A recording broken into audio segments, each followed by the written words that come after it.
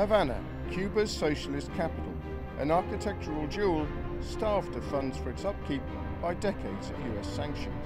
But now relations with America are improving. Is this beautiful but crumbling city about to experience a speculator-led revival? In the last of three special reports on Cuba's growing accord with capitalism, Juliana Ruhfus goes in search of the winners and losers from Havana's property renaissance.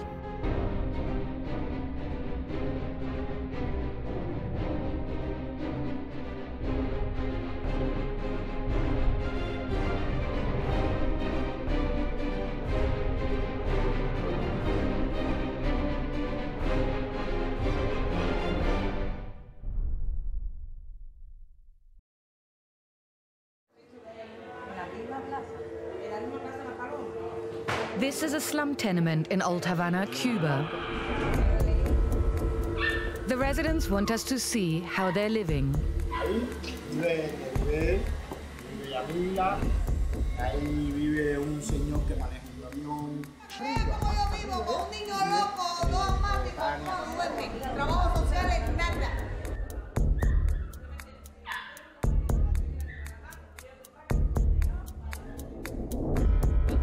Half a century ago, when Fidel Castro's revolutionary forces entered the capital Havana, it was the lives of the poor that the new leader promised to improve by putting an end to capitalist excess.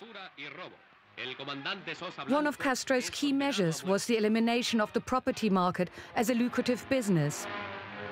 Housing was declared a human right, private rental was abolished, and the majority of Cubans were given free properties to live in. But with the US embargo declared on the revolutionary island and its finances dependent on an inefficient, state-driven economy, the government ran out of money. Vast parts of Havana fell into decline.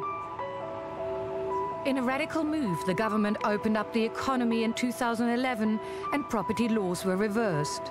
Cubans were allowed to buy and sell their homes once more. The government says its revolutionary vision hasn't changed and that the reforms are aimed at keeping rather than dismantling socialism.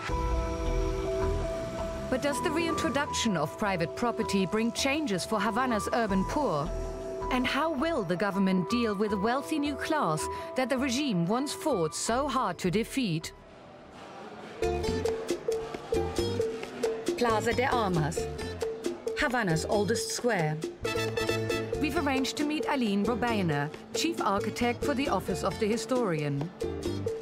It's a branch of the government responsible for the rehabilitation of Havana's historical center. It all started right here in this space. This is the square where the first archaeological works were developed. This is the area where the historian's office was settled as an office. It's an immensely powerful institution which publishes a master plan that serves as a blueprint for Havana's development. At its core is the idea of using income from tourism to fund the renovation of the city. And in 2011 alone, it generated $120 million in revenue. Here at the Plaza Vieja, some of the old mansions have been developed into businesses few of them had um, slums, very poor housing in very bad conditions in the 1980s. And when they were fixed, they were converted into microbrewery, for example, that was occupied by a lot of families. But it is also the goal of the master plan to keep as many of the original residents as possible living in the city center. That still has housing. But instead of having 50 families living in a very poor, overcrowded condition, now we have five or six apartments. And these people, these families, pay rent to the government, but it's subsidized. Aline takes us to see a family who have been allocated a renovated apartment. The Perez family have been living here since Mylene Perez pleaded hardship with the Office of the Historian. Eh, llegamos por un, un, un cambio de, de casa, de apartamento, de habitación, como se hace aquí, dado la necesidad de la, del lugar donde vivíamos, que no tenía las mejores condiciones, ya yo tenía una niña pequeña. Both Perez are working for the tourism industry and earn a competitive wage. But the average Cuban is employed by the state and earns just $25 per month. The subsidy system means that the Perez family's monthly rent is fixed at 4% of the state salary, or just $1. Amamos su comodidad, su espacio, lo céntrico que está. Realmente tiene una vista muy bonita, tú lo pudiste constatar. Y estamos tranquilos y cómodos aquí, es una zona tranquila realmente. Eso nos gusta mucho. But back in the square, we find out that the current economic changes do make it harder to keep the original residents in the city. Increasingly, housing is converted privately into cafes and bars. Some of the families that used to live in these upper floors owned their places. And according to the law that we have right now, places that are in private ownership can be sold. So these families have been tempted because they have been offered a very large amount of money for their spaces because there is a big demand for these lovely areas surrounding the colonial squares.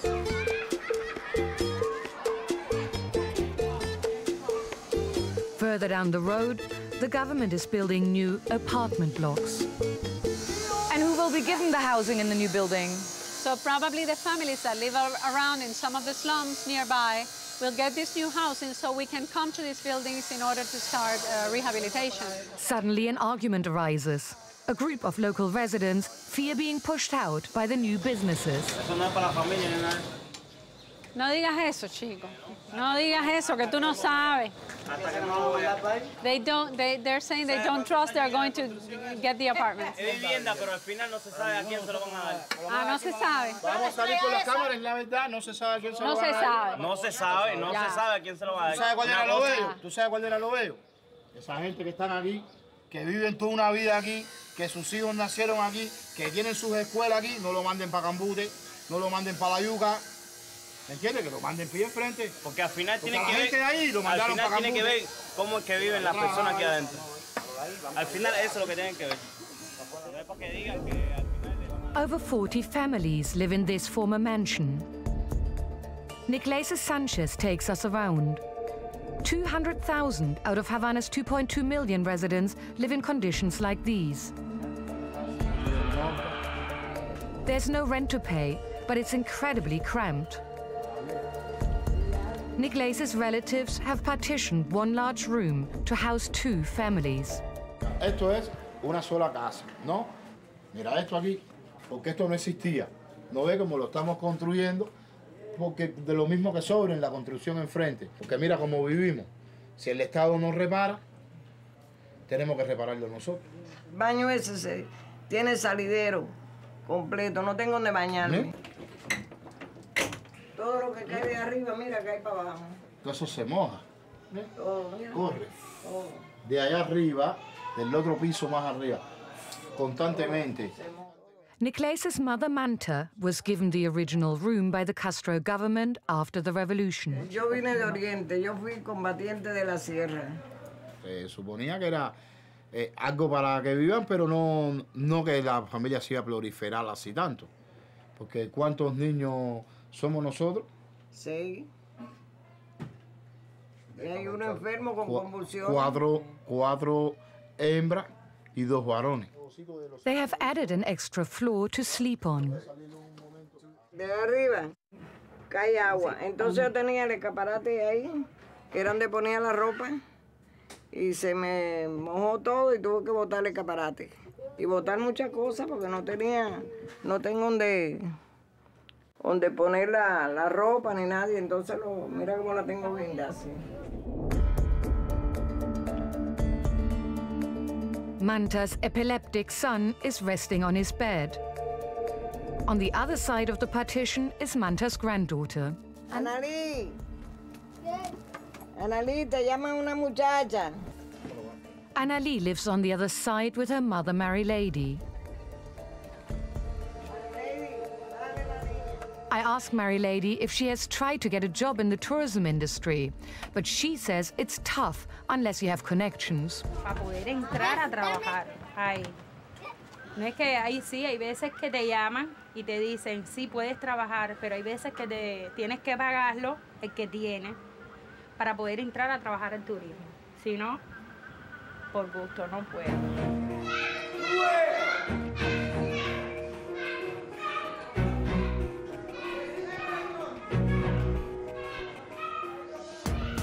When we see Aline again, she says she can understand the residents' complaints. Perfect situation would be to have enough new housing to give to all of them. But there are many limitations. So do you think people are suspicious that the government will not act in their interest? No, I wouldn't say suspicious. The problem is that they have been waiting for a solution to their problems for a long time. We haven't been efficient enough to solve them for practical reasons, because the country has made priorities in education or healthcare, and then housing has been waiting too long. Havana's authorities are facing an uphill struggle to preserve the city. Not just overcrowding and structural alterations, but also damage caused by the high humidity are making buildings unsafe. It falls to Julio Rosado Varela, the city's chief building inspector, to decide which houses are so unsafe that they need to be destroyed.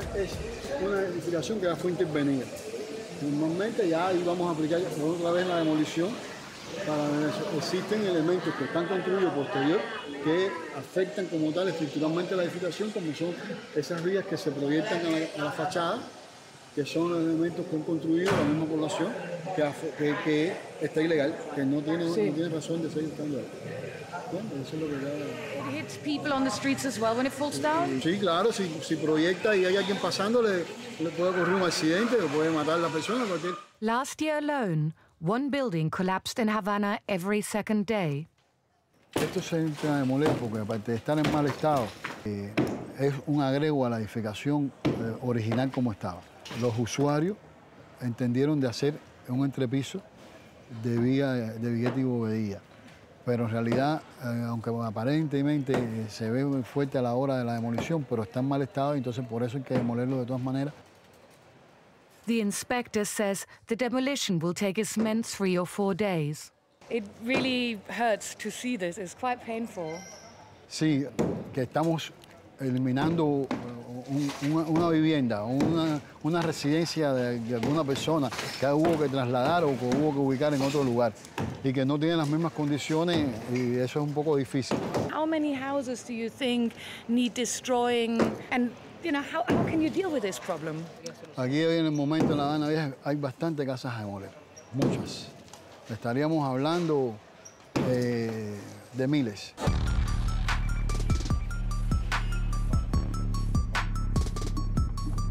Recognizing Cuba's urgent need for more housing in the 1960s, the Castro government began building Soviet style prefabricated satellite cities, with several of them located around Havana. Once highly desirable, today they have become the destination for those who can no longer be housed in the capital. Luis Rodriguez and Felix Sanchez moved to Alamar 15 years ago when their building in Old Havana was turned into a hotel. The government gives families here free apartments, but for many, property ownership is a small consolation for a big transition. Was it difficult to come here from Old Havana? Was it a difficult change for you? Al principio sí, al principio era un cambio porque eh, ya estaba adaptado a amistades, eh, los lugares me quedaban más cerca, más céntricos. eh, y ahí cuando vine para acá es totalmente diferente, todo era totalmente diferente.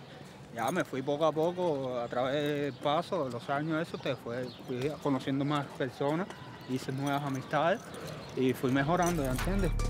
Luis works at a nearby refinery, and it turns out that Felix is in construction, building houses for those who still arrive from Havana. We've asked them to take us to meet the latest arrivals. Hola.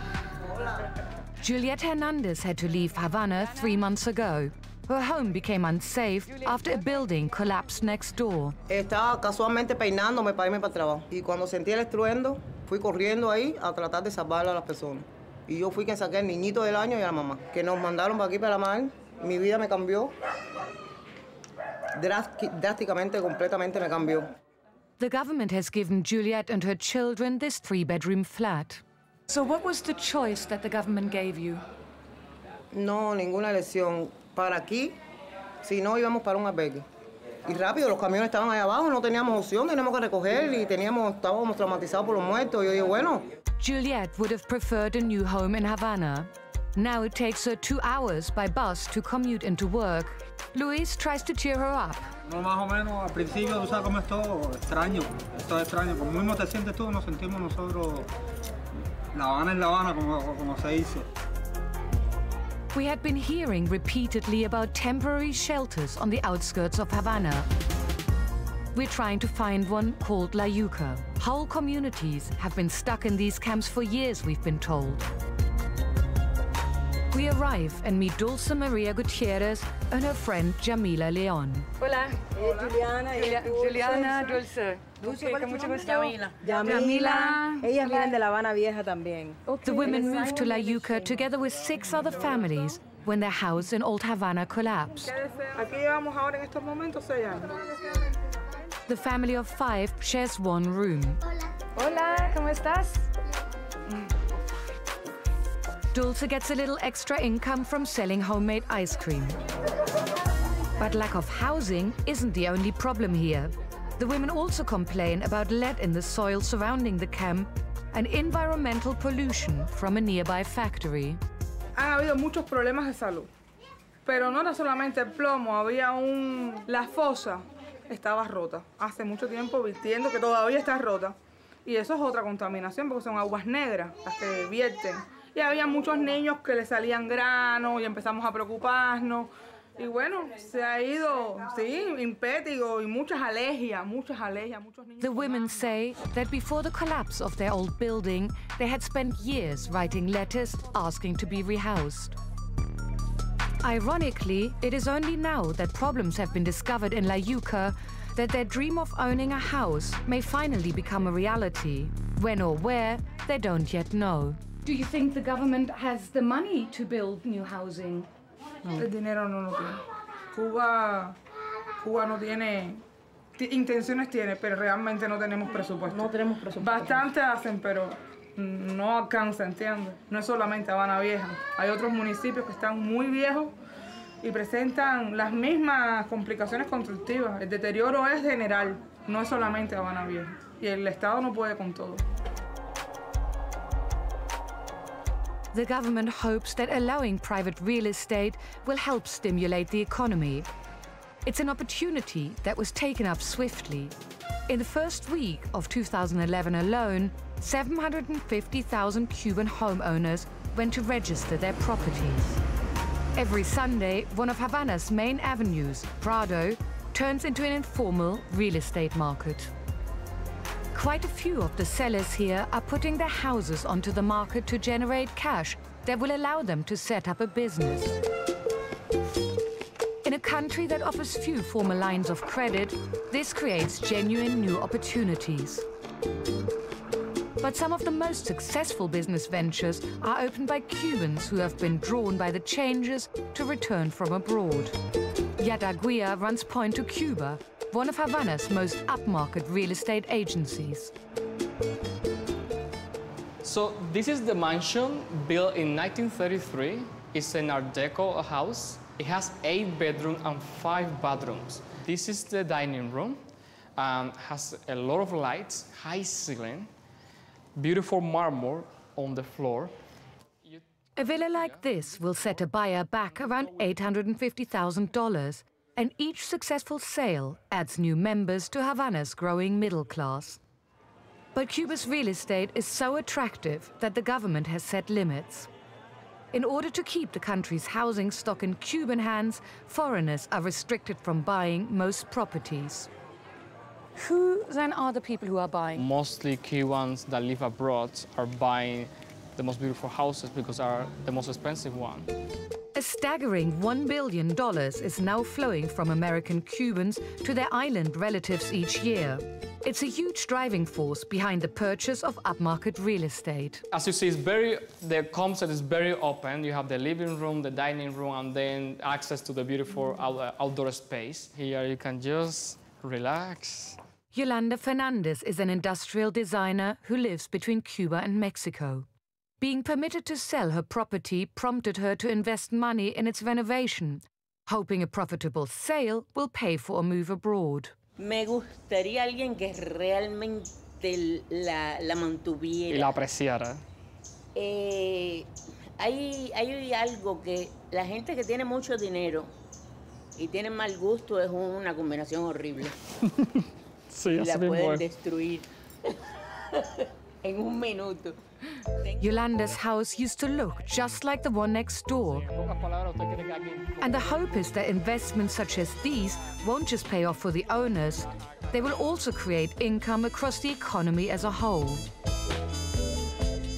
But I'm about to meet a far bigger player who's also eyeing Havana's real estate. Hugo Cancio is a Cuban who fled the island to live in Miami during the times of economic hardship. Today, he's an entrepreneur and art collector.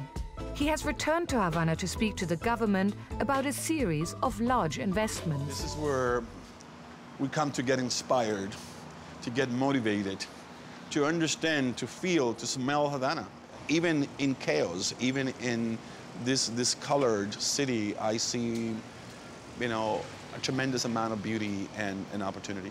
Hugo publishes magazines on art and real estate and says he's about to launch tech startups. Our website OnCuba.com is the most read website in the world about Cuba, and this is where our journalists and editors do their jobs. Hola. Ding, ding. As a Cuban um, American and as the owner of a Miami based holding company, Hugo says he is the perfect man to bring new business. Who better than me? This is my country of origin. You know, I lived 35 years um, um, in the United States. I bring expertise, know-how, uh, resources, and passion and love. That combination is a powerful combination.